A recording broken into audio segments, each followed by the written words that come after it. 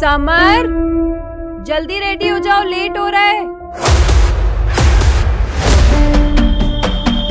जब मैं छोटा था तो पापा हमेशा बोलते थे, सारा कारोबार सेट करके तुझे देखे मैं गाँव चला जाऊँगा। वो गाँव से तो आ गए, पर गाँव उनके अंदर से कभी निकला ही नहीं।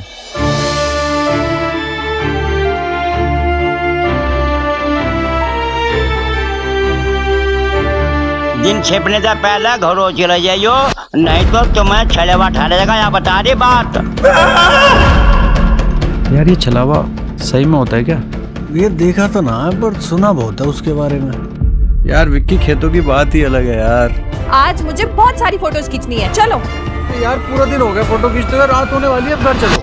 नहीं खींचनी तो मत खींचो मैं खुद भी खींच सकती हूँ ठीक है?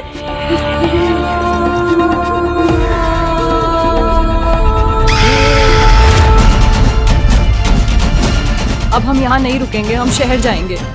ये वही डर है जिसकी वजह से पापा गाँव छोड़ के शहर चले गए। तुम्हें छला है छलावे ने चलती फिरती हवा है वो। सब कुछ जानता हूँ मैं इसके बारे में।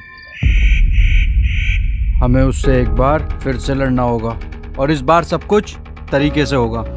अरे भैया तुम पागल हो क्या? हम क्यों जाएँगे रात में?